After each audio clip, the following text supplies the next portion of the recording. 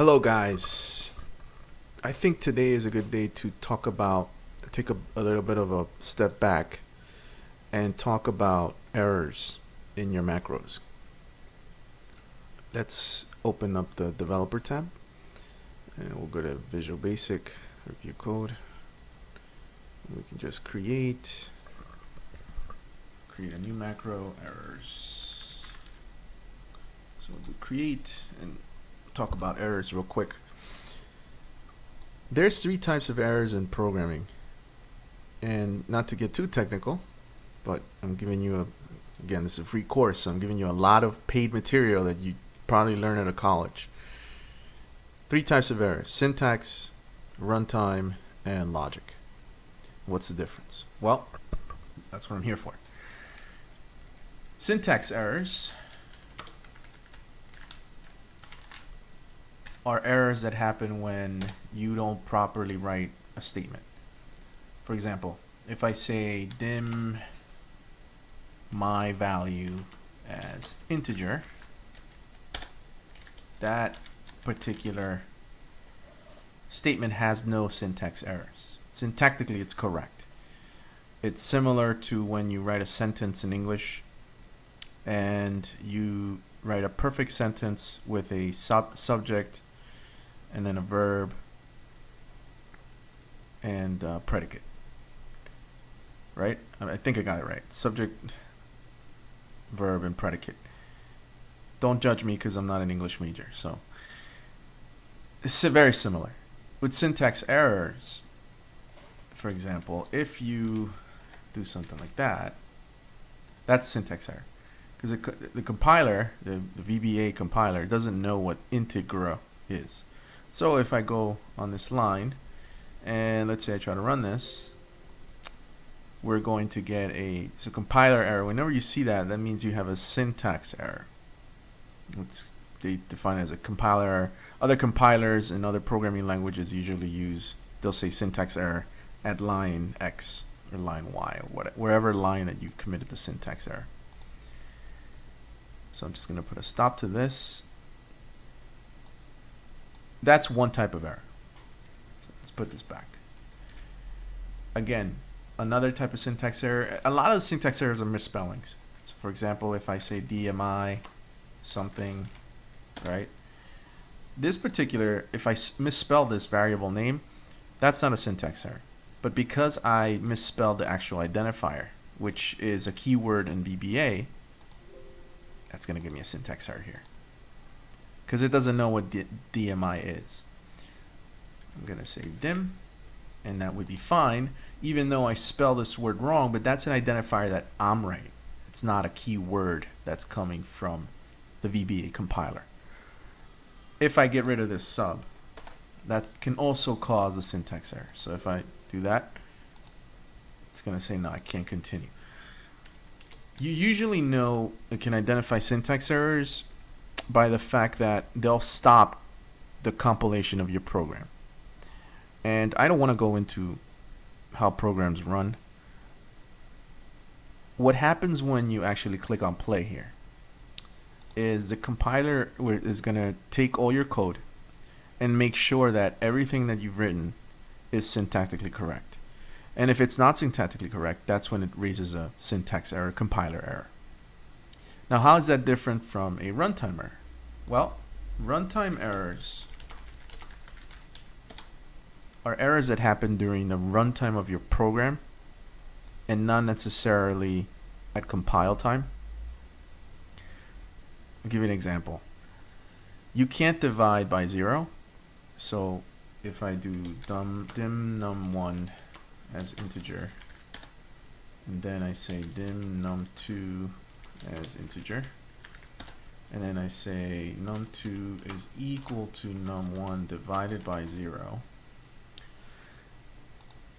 this will give me a runtime error. See that? Runtime error overflow. The reason for that is you really cannot divide by 0 mathematically. So that's going to raise a runtime error. So click on end. Runtime errors are not compile time errors meaning that your program will compile and it'll start running. the longer you start writing your macros, meaning your VB script code, and there's a runtime error in any of the lines that you write, you have to be careful because you're not going to be writing macros that are 10, 20 lines. You're going to probably be writing macros that are perhaps 100 lines long. So you got to be cognizant of the fact that if you do, if you start compiling your code and start going through the process of writing it, you have to be cognizant of these runtime errors that could happen. And again, these are hard to debug because they happen at runtime which means that you're going to compile your code, it's going to compile successfully, and but at runtime when you actually run it on your sp spreadsheet, it's going to bomb. Now, the third types of errors are the logic errors. So the last two, runtime and logic, are the hardest to, to fix. One, because if you're a beginner, you don't really know what is actually going to. I mean, I've given you an example, but there's so many things that can raise a runtime error. But you've seen what can how it how it gets raised. So usually when you have a runtime error, it's going to say runtime on the actual pop-up. If it's a syntax, it's going to say compiler error. Now, if it's a logic error, there would be no error box. Logic errors are errors that you make as a human. So, for example, if somebody asks you to find the sum of two numbers, right? That's easy, right? That's very easy. Except that perhaps you forgot to that he said sum and you did the product. So the requirement was for you to find the sum. But you forgot that he said sum and you thought he said product and you said answer is equal to num1 times num2 and we can just say num1 is equal to 10 num2 is equal to 240 now you got to picture that this is a 100 line macro and you have to go through lines of code to figure this out. But you're, you're getting the wrong result because the requirement was for you to find the sum. And you somehow forgot and said, oh, oops, I'm, I thought that this sign was a plus sign, but I actually used the multiplication. Again, this is not going to give you any error. Let me just do a good old message box. That's why nothing happened. So when you're thinking you're going to get a 50 as a result, you're actually getting 400 and you're trying to figure out, well, why, why am I getting 400? I'm supposed to be getting 50. And this is an example of a logic error. And logic errors can drive you really, really nuts. Now, as a programmer and as a VBA scripter, these logic errors get easier to solve over time. The only thing you have to do is have persistence and patience to solve these logic errors.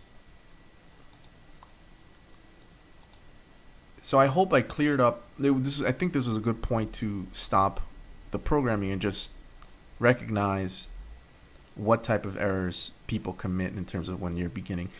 Programmers in general. So the way that it works is when you start out writing macros or any programming language, you're going to be a lot of the time, maybe the first three three to six months, you're going to be here, syntax error level. You're still trying to feel feel your way on how to how the language works as you get more time programming, then you'll probably now end up after the six months at the runtime logic error level. Mostly logic error, I would say. Runtime, not so much. And that's kind of the, the progression of what's going to happen to you. The only way to deal with syntax errors is by practicing. You do the exercises that I do, do the homework that I'm assigning on the course, and you'll see how much you'll improve over time. All you need is 20 minutes a day. That's all you need. All right.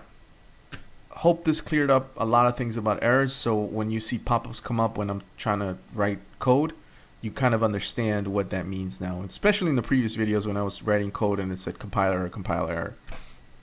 Hope this helped.